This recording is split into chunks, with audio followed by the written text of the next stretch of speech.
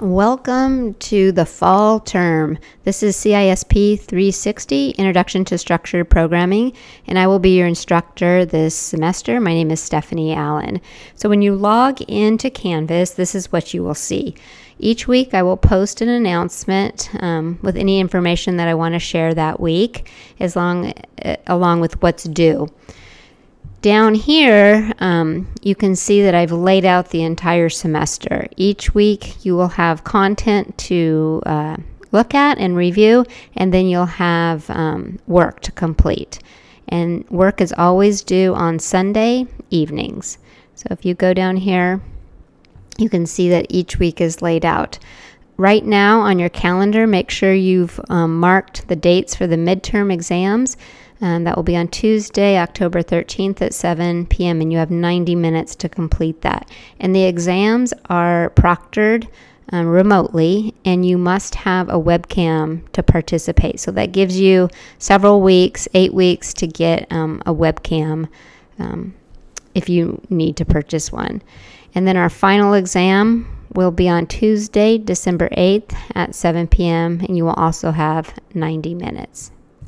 FLC wants you to be successful in this course, and if you are facing any challenges, um, like technology challenges, computer challenges, food or housing insecurities, please reach out um, to FLC. You can click on this uh, link right here, and there are links to resources uh, for you to use. There are also free online tutors available for this class. And so if you click on this link and you can click on the big purple button, schedule an online tutoring appointment, and it will connect you with a tutor. This class, there's a big learning curve. You're going from an introductory class to we end with linked lists, which is an, an advanced topic. And you have to spend at least 12 hours per week on this course. And you have to really understand the first few weeks. This builds the foundation of what we'll be doing in future weeks. So spend the time in the beginning and it will pay off in the end. Okay, so when you, after you've kind of looked at the schedule, um, go ahead and look at the syllabus. It tells you exactly what we'll be doing and how I grade and then the different policies for late work. And then it also lists everything that is due this semester. Okay, and then when you're ready to start the course, you'll click on modules, and then you'll just start at the first page, read it, and do anything that it's asking you to do, and then navigate through the content one page at a time. You'll read and sign the syllabus, um, you'll introduce yourself on an introduction forum, and then this Q&A forum I'd like you to click on. And go ahead and subscribe. So if it's not green, go ahead and push it and then make sure it's green. That way you'll get notifications if anyone subscribe or anyone posts on the Q&A forum. And the reason you would want to get that is maybe you're having the same problem and someone posts about it and then there's a solution. Or maybe you know the answer and you can hop on and help that student out. Okay, and then so once you've navigated through that, you'll hop into week one. So each week has an overview, just the learning outcomes of the week and the things that you need to do for that week. And then each week has an assignment, and um, the assignment is in a Google Doc so you'll just click on that and you'll follow the directions and then you'll submit um, your file, your source code file, and each assignment also has a submission question. So when you hit submit, it'll give you a box where you can add a comment. And I want you to answer um, the question that I've included with each assignment in that comment uh, box of your submission. Okay, each question will be different for each uh, assignment. And then here's the rubric on how I will be grading um, you.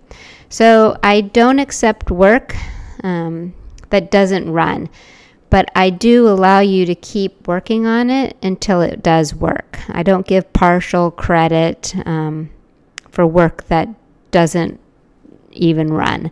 So what I recommend is turning your work in early and then I'll give you feedback and you can incorporate that feedback and keep resubmitting, resubmitting until you get full credit.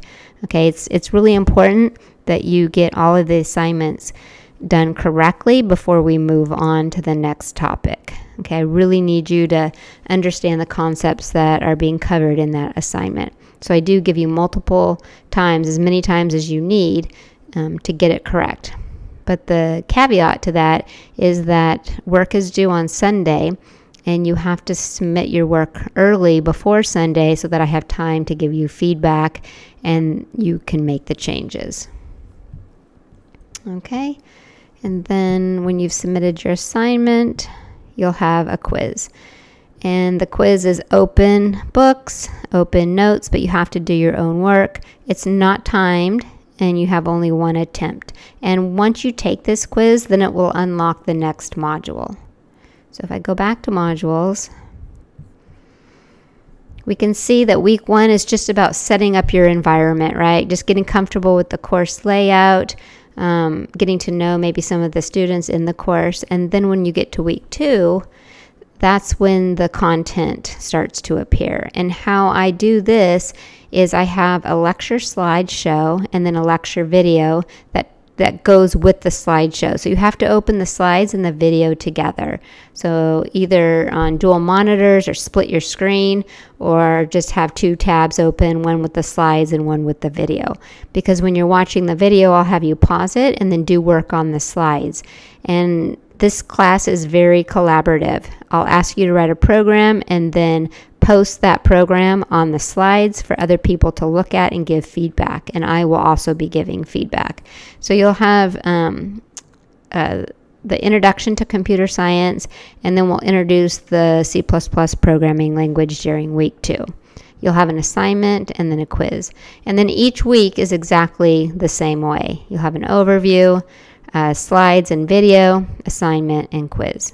Okay, so that structure, after the first couple weeks, um, you'll get the hang of it. But what I do recommend is starting early.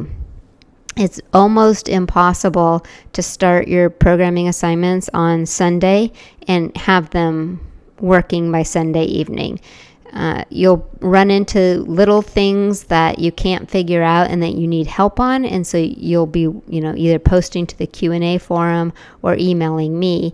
And so you want to start early so that you have an opportunity to get all that you know worked out before you submit it on sunday evening. Okay so start early turn in often. So we talked about the discussions and then here's the link to the free tutoring um, if you want to schedule an appointment with me to meet online and walk through your code, I love doing that. So you just email me and then you would click on this link to connect with me. This is one of the environments that we're going to be using to write programs. It's called Replit. Um, I have short little three to five minute tutorial videos. So if you you're struggling on some kind of concept, check out my videos to see if I can answer your questions there. Okay, so that is a brief introduction to the course. I hope you enjoy the course. It's a lot of work, but it's so rewarding when you get to the end and you look back at all the things that you've learned. And it's just amazing to be able to take a computer and an idea and turn it into something that actually works. Um, so I hope you love coding as much as I do. And again, um, please reach out with any questions. I'm here to help.